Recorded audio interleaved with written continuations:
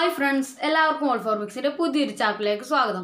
അപ്പോൾ നമ്മൾ ഇന്ന് ഇവിടെ ഉണ്ടാക്കാൻ പോകുന്നത് ഇതുപോലൊരു സാധനമാണ്. ഇതൊരു പേപ്പർ ടോയ് ആണ്. ഇതിന്റെ മോഡൽ നമുക്ക് ഇഷ്ടമുള്ള രൂപത്തിൽ നമുക്ക് മാറ്റി മാറ്റി കളിക്കാം. നല്ല ഭംഗിയാണ്.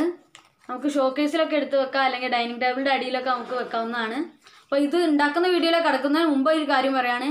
ഈ ചാനൽ സബ്സ്ക്രൈബ് ചെയ്യാത്തവരുണ്ടെങ്കിൽ ഉടനെ സബ്സ്ക്രൈബ് ചെയ്യുക. അപ്പോൾ നമുക്ക് നേരെ വീഡിയോയിലേക്ക് കടന്നാലോ?